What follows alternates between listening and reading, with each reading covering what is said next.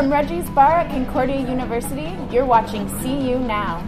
Today, we'll get close with Egyptian Canadian protesters as they fight for democracy. Hook up with some hipsters at Expozine. And laugh at people with disabilities. Hello there, I'm Anna Haywood. And I'm Adrian Sousa, and this is Concordia's downtown news and culture magazine, CU Now. Many of us will go out on the town tonight, some right here at Reggie's. But lately, dedicated Egyptian activists have better things to do.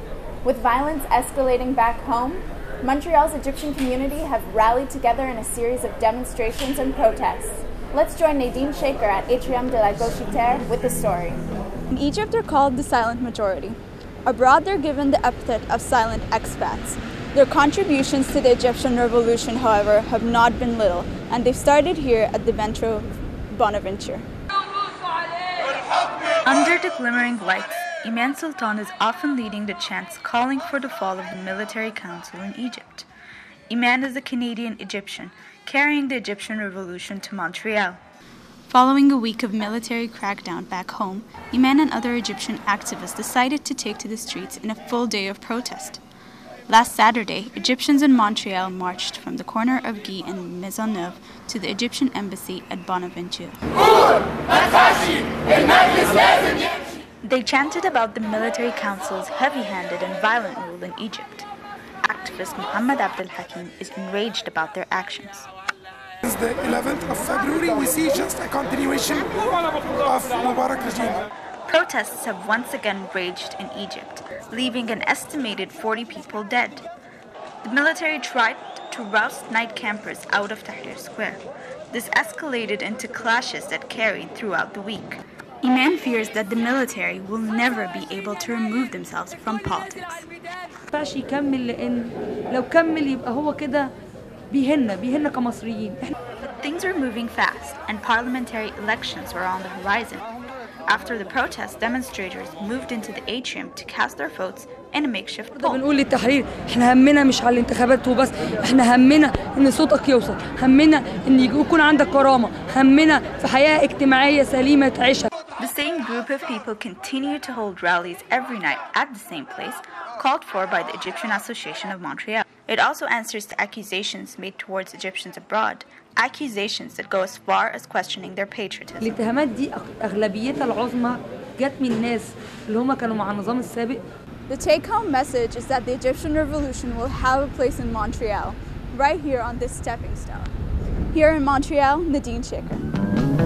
With mainstream print publications on the decline, alternative press is filling in the gaps. Mega popular Expozine Montreal gives exposure to Montrealers and beyond.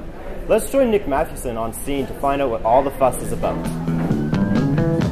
Expozine is in full swing here at the Saint Enfant Jésus Church in Montreal's Plateau neighborhood. Local independent artists are showing off their work, trying to get their small publications some exposure. A zine, for the uninitiated, is a small, self published work, often only distributed by the artists themselves. Every year, artists and writers from across Quebec gather to sell their zines and do a little networking. As Montreal's largest alternative press exposition, Expozine encourages zine writers to meet their public directly. Jonathan Hemsworth has had a booth every year since 2006. Well, it's a media entry point. It's a media entry point, and the other thing is we're meeting the people that are, are actually. It's, it's a really beautiful thing to actually meet the person who wants to personally buy off you, and that's a beautiful exchange. This year marks the event's 10th anniversary, and so far it's the largest one yet. Billy Mavreas, one of the founders of Expozine, says that the expo was started to showcase homegrown talent without the artists having to leave Montreal. Well, we knew that there was a lot of talent in Montreal. We were also tired of driving to Toronto and paying gas and uh, Taco Bell prices to show our stuff there when we knew that our city was saturated with culture. Expozine Montreal is Canada's largest zine fair, and it's only getting bigger. The applicants this year have outnumbered the 300 plus booths, and the organizers have been making even bigger plans for next year's Expozine. For CU Now, this is Nick Mathewson. Fighting the starving artist stereotype, Youth Employment Services Montreal is celebrating the business of art and the art of business at its second annual Yes Art Expo. Giselle McDonald was there to paint us a picture. Hey guys, I'm here at the Yes Art Expo where over 60 young Quebec artists are displaying and selling their artwork.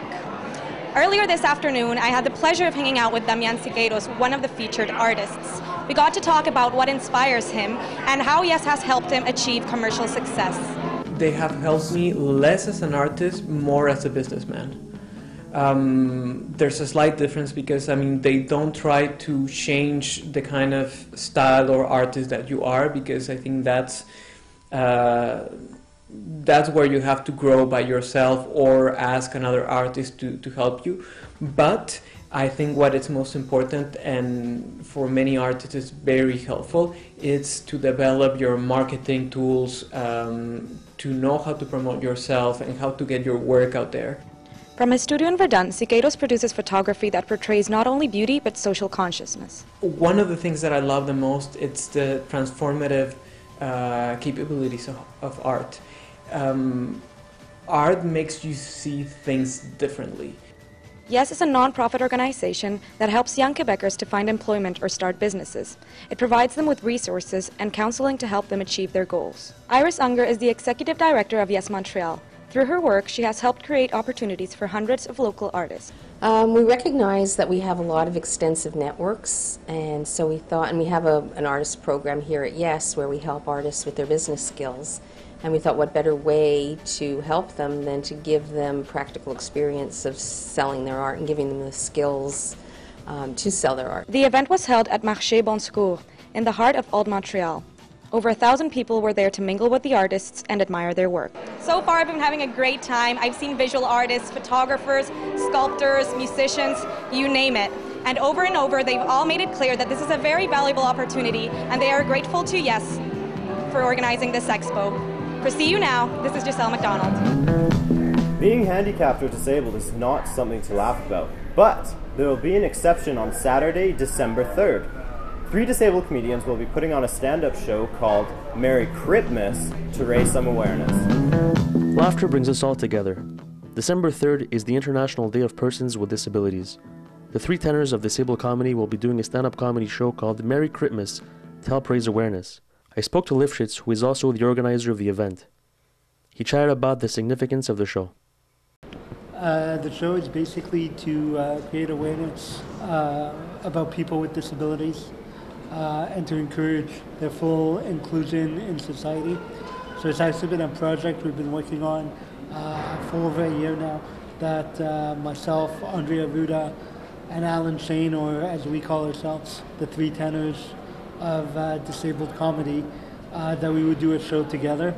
Uh, and the UN International Day of People with Disabilities seemed like a good opportunity to do our first show. Lifshitz was born with a condition called multiple congenital musculoskeletal abnormalities. Alan Shane has cerebral palsy. Andre H. Ruda refers to himself as an anti giant. They all incorporate their disabilities in their comedy. Richard Mullen is the host of the show. He's a diabetic. He spoke to me about the choice of venue. Well, I always tried to get into Concordia and I couldn't because I didn't have the marks. See, usually people say that about McGill. Uh, I went to the University of uh, Baseball south of the border, and you know it's accessible, and it's a place where education is supposed to happen. So it's the best of both worlds. So we'll hopefully have some young students there, and we'll be able to get to uh, educate them on what's going on, and they could have a good time. The event will take place on the seventh floor of the hall building. An evening of crippling laughter is to be expected. For CU Now, this is Marc Soumako signing off. Back to you. Movember, the month formerly known as November, has come to a close, and Canadians have raised over $30 million for prostate cancer. Let's hear from Emily Campbell about why she loves the Moes. I love Movember. It's the time of year when all the bros turn into Mo Bros, and they walk around looking like hipsters perverts, or cowboys in order to raise money for prostate cancer research. This is important because one in six men will be diagnosed with prostate cancer, but 90% of those diagnoses can be cured if it's caught early enough. Statistically, men don't like going to the doctor, and there's a stigma that comes with getting tested. But now, during the month of November, there's over a million walking, talking billboards raising awareness for the issue. Some people can't stand it though, and hipsters everywhere are losing their identity as ironic alternatives. A few weeks ago, an opinions article came out in The Link that called prostate cancer the cancer of the privileged, and said that there are a million more charities more worthwhile than sponsoring your local douchebag to grow a crumb catcher. But the next week, both the writer and his editor published an apology because they were wrong. Chances are, you or someone you know is going to be affected by prostate cancer. And that's why Movember's the time to set aside your pride and grow a stash for some cash.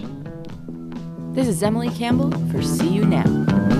That's all for today on CU Now. I'm Adrian Sousa. And I'm Anna Haywood, and we'll see you later.